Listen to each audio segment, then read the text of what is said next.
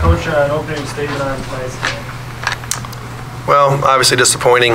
Um, Certainly didn't uh, play uh, the game that we anticipated to play.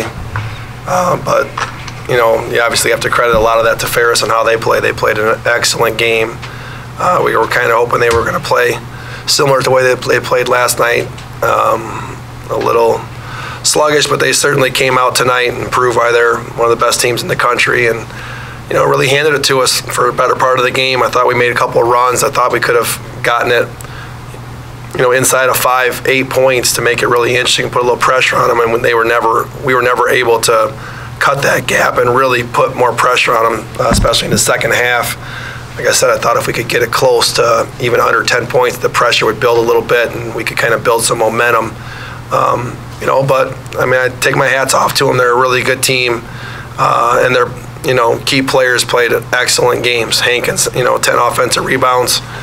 They had 19 as a team. It seemed whenever they missed, they just got their own miss. They missed 39 shots and got 19 of them, almost almost half their misses. You hope to keep teams under 22, 23 percent, and they got almost 50. So certainly as good as they are, especially at home, you can't give them second opportunities, and we gave them a lot.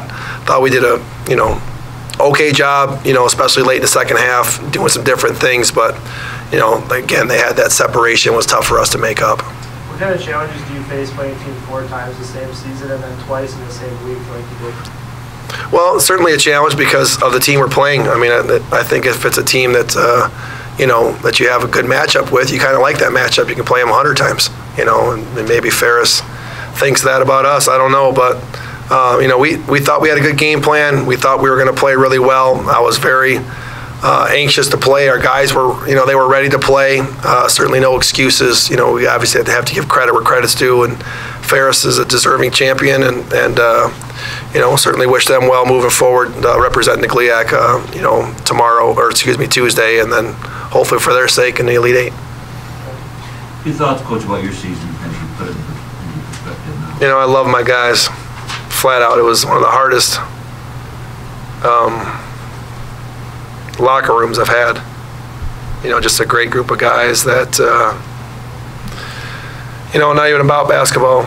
I going to have lifelong friends from those those four seniors in that group that we had, and uh, you know what a Kemji, Lance, Josh, and uh, Big Phil has done for our program is amazing. You know, we're, we're no longer a, a, a good school in our conference. You know, we're a, we're a team that could be recognized as a, a national uh, team that uh, you know we've been consistent uh, over the years.